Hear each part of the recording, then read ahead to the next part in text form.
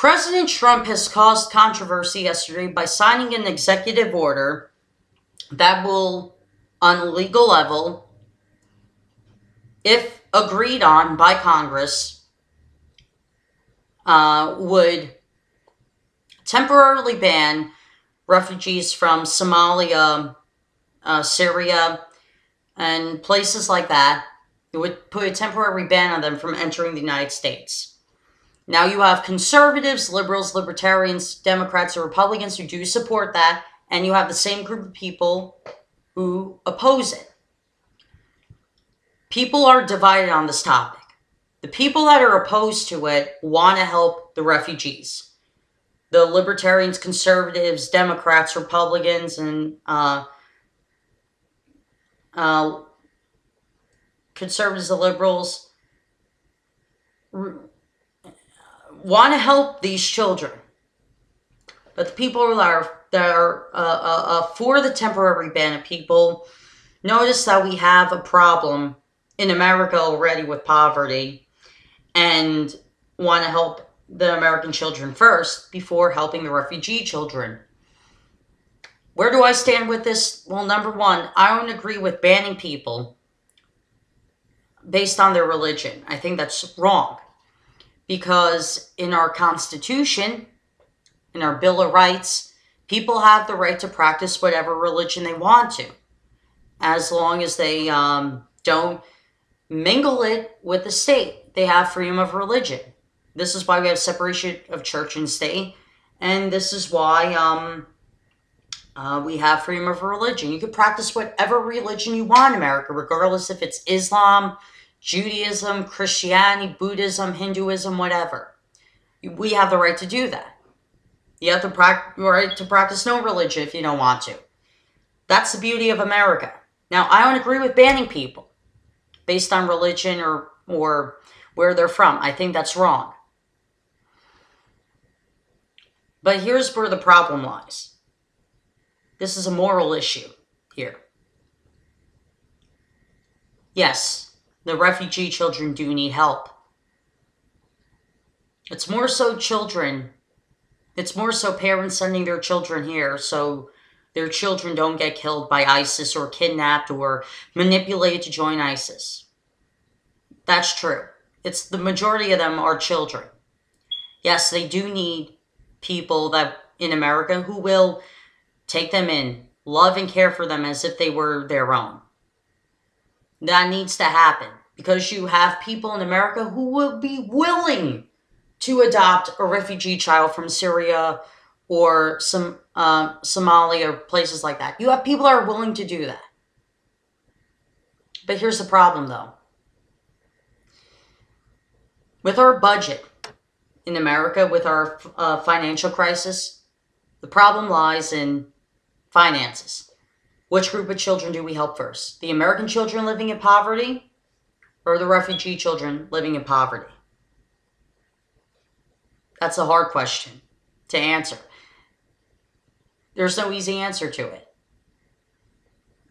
I'll give you two alternative versions. Let's say we um, decide to budget the money where we can split the money into two groups and one money is to help the American children and one money is to uh, set of money is to help the refugee children. Now this would take serious budgeting, budgeting. This would take serious budgeting to do. That's the first one. The second thing is that we have to consider something. If that budgeting runs out for any group of children, how do we raise the money to um, keep funding what a specific group of children doesn't matter it's the American children or the refugee children. How do we get the money then? Charity concert, maybe. Uh, PBS telethon, most likely. National telethon, probably.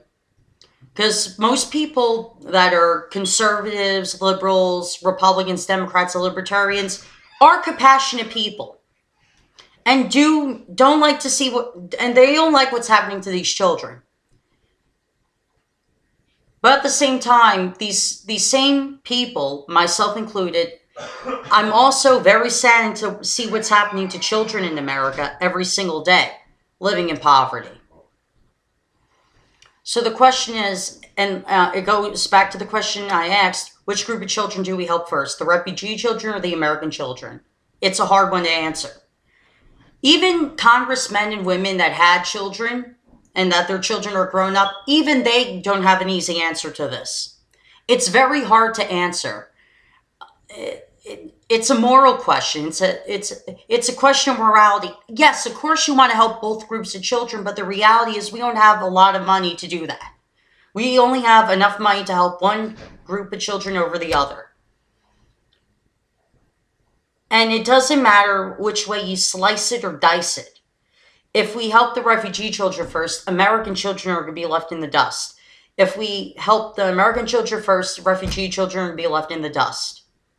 It's a moral prop. It's a moral dilemma. Now, do I, now once again, I'll reiterate: I do not support the executive order, which also has to be approved by Congress, by the way. Um, that you have that we should ban Muslims. I don't support that. I'm against that. But at the same time, though, I'm not against being cautious. We should be cautious. And that's the problem. When you see people on the right and on the left argue about national security, conservatives, for the most part, know what they're talking about.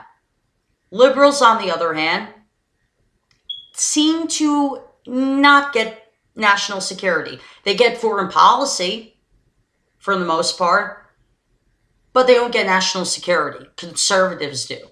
Why do conservatives get national security than liberals do? Because conservatives are people of instinct. Now, as a libertarian, as you could call me a a, a peacenik conservative if you want to, a um, you could call me a right leaning libertarian if you want to. That's why I label myself anyway. But here's the problem, though.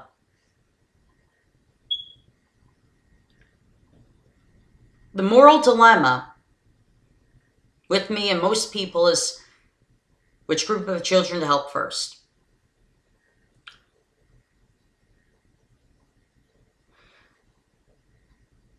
And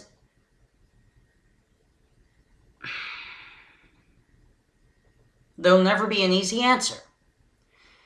It's like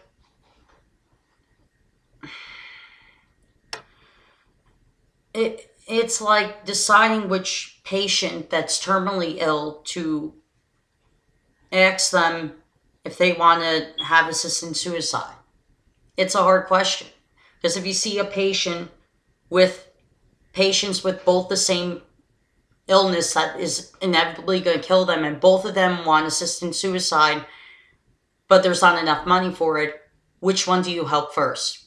It's a moral issue, it's a moral dilemma. Now,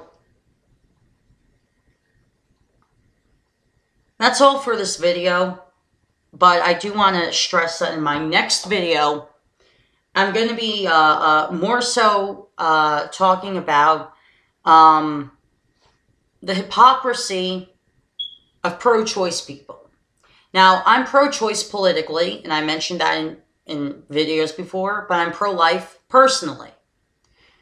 I'm pro choice because politically, I'll give a brief rundown on this again, because I believe, you know, I don't know what's good for you. I don't know what you eat. I don't know what you do at all with your body or what medicine you take. So I don't know what's good for you. You don't know what's good for me. It's a fair deal. I'm pro-choice at that. Could do whatever you want to your body as you please. It's your body. It's my body, my choice, your body, your choice. But my personal side says that fetuses also have a right to life. And that's what my next video is going to be about. More so the hypocrisy, the pro-choice side. Um, saying children's lives matter, but not the fetus life and and and why um why fetuses are human beings. See you guys.